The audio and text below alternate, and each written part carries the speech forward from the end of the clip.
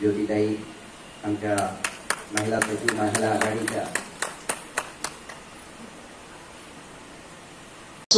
आधारवड ह्या संस्थेची स्थापना केली. आणि मागच्या सात वर्षापासून विविध सामाजिक उपक्रम राबवत एक वेगळा असा पायंडा पाडण्याचा त्यांनी ह्या ठिकाणी प्रयत्न केलेला आहे. सन्मान्य खासदार साहेबांनी त्यांच्या भाषणामध्ये सांगितलं की मागच्या सहा सात वर्षापासून विविध विकास कामे आपण वर्ध्यामध्ये संपूर्ण विधानसभा क्षेत्रामध्ये राबवितो.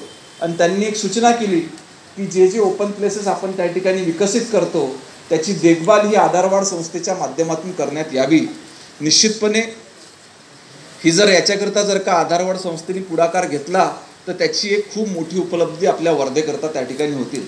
कारण मागच्या काही वर्षामध्ये मी जेव्हा बघितलं जेव्हा माझ्या घरासमोरचं उद्यान हे विकसित मार्गक्रमण आपल्या जीवनामध्ये करत असतो आपल्या सर्वांच्या माध्यमातून आज समाजामध्ये अतिशय चांगले विविध क्षेत्रात काम होत आहे. आज ज्या ज्या ज्येष्ठ नागरिकांचा सत्कार ह्या ठिकाणी करण्यात आल्या अनेक विविध क्षेत्रातून तुम्ही सर्वांची निवड केली याच्याबद्दल आपल्या सर्वांचा आभार व्यक्त करतो.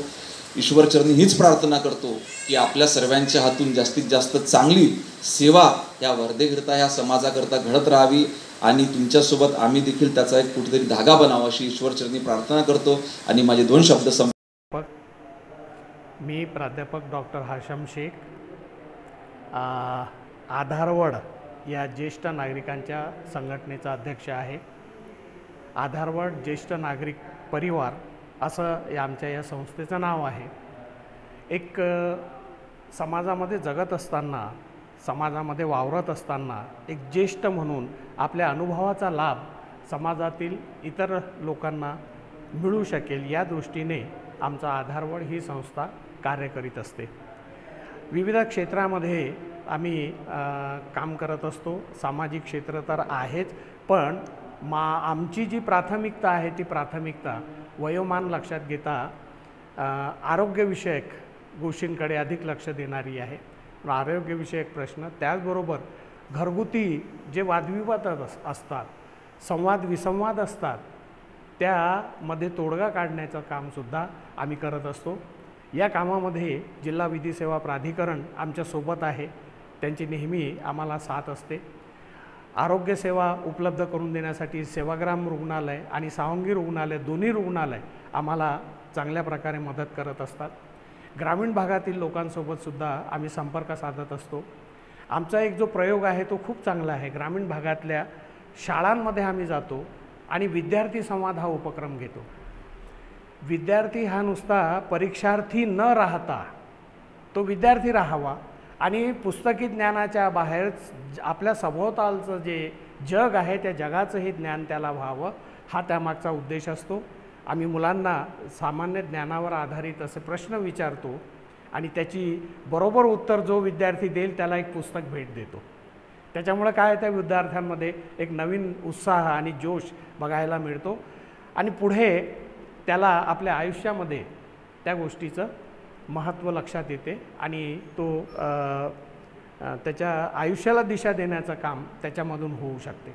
याचबरोबर ग्रामीण भागातील जे शेतकरी आहेत त्या शेतकऱ्यांच्या ज्या समस्या आहेत त्या सोडविण्याच्या दृष्टीनेही आमचे प्रयत्न असतात. आमच्या आधारवडमध्ये चार रीट सेवानिवृत्त कृषी अधिकारी आहेत ते आम्हाला या कामी मदत करत असतात.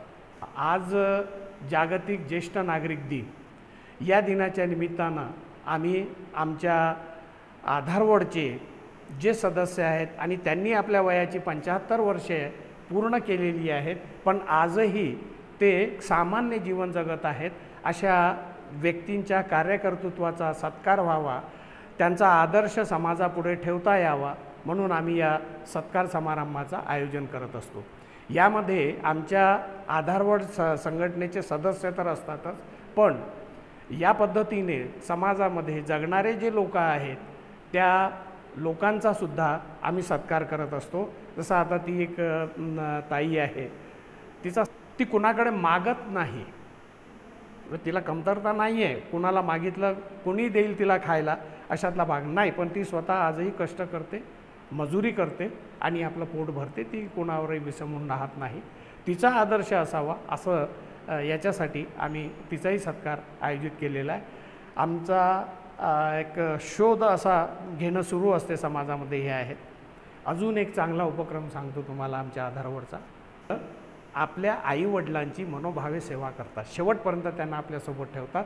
त्यांची सेवा करतात. अशा पाल्यांचा आम्ही शोध घेतो आणि त्यांचा सत्कार करतो आधारवडतर्फे की जेणेकरून त्यातून इतरांनाही प्रेरणा मिळावी आणि आपल्या आईवडिलांचं संगोपन त्यांना आपल्यासोबत ठेवून त्यांना करता यावं. तर एक समाजामध्ये आमच्या अनुभवाचा आणि ज्ञानाचा लाभ समाजाला मिळावा आणि आम्हाला हे सामाजिक ऋणातून मुक्त होता यावं हा त्यामागचा उद्देश आहे. ही संस्था कार्यरत आहे. आधारवडच्या या आमच्या या प्रवासामध्ये मी वयाची साठ वर्ष पूर्ण केलेल्या सर्व स्त्री आणि पुरुषांना असं आवाहन करतो की आपण जास्तीत जास्त संख्येने या आधारवडचं सदस्य व्हावं आणि आधारवडच्या या कार्याची धुरा सांभाळण्यामध्ये आमची मदत करावी. आपलं नेहमी स्वागतच आहे.